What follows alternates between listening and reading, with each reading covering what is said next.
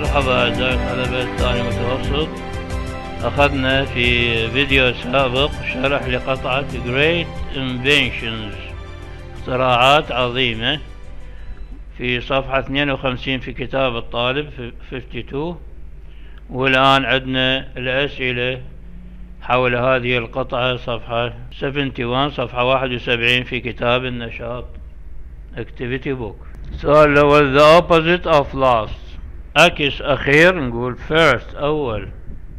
To verb from the noun invention يعني فعل مشتق من الاسم invention اختراع.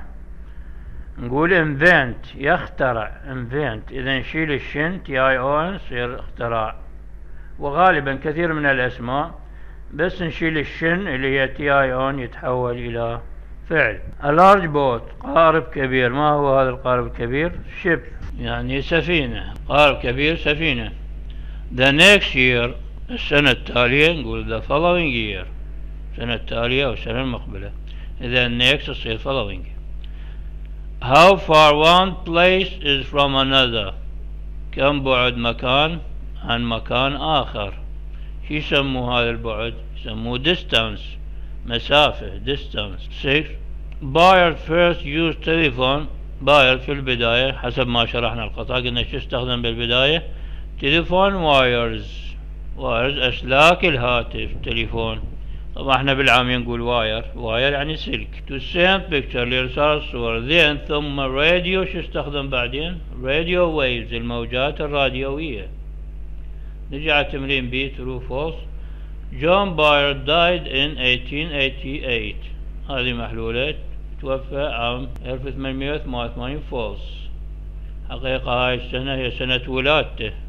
توفى عام 1946 1946 Two Baird send moving picture to America in 1928 أرسل صور متحركة إلى أمريكا في عام 1928 طبعا هذا السنة ما موجودة بالقطعة موجودة 1927 بس قايلنا the following year اللي هسه أخذناه هنا the next year the following year.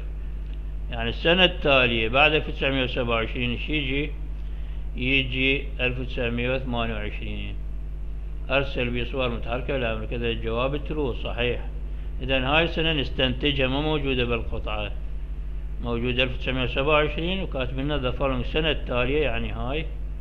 أرسل صور متحركة إلى أمريكا فنقول جواب true 3 ماركوني invented the telephone ماركوني اخترع التليفون الجواب خطأ طبعا false.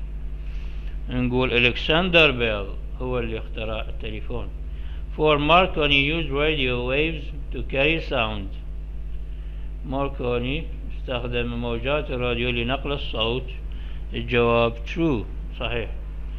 In 1902 عام 1902 ماركوني sent a radio message to أرسل رسالة راديوية إلى أمريكا جواب فوس أرسلها إلى إنجلاند إلى إنجلترا الجواب الصحيح